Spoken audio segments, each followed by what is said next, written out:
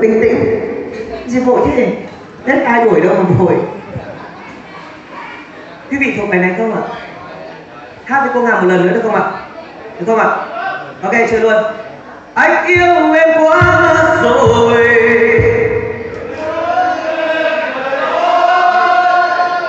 Bây giờ người ta hát hay này lại một phát nữa được không ạ?